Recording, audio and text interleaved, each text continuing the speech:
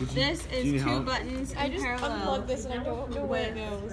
a closed circuit with switch. Probably this So is the are positive. I think it's the main one. No, that was the main one. The one we Or it's no, the positive, so it has to go to the switch. Oh, I unplugged it from my closed 5 circuit with oh, switch. Oh, maybe that makes sense. Closed circuit with Does it work? It funciona? Two buttons in And parallel. not this one because I haven't done anything with it yet. Yeah. But it was working. Ow. What time? No, it's 12 different light.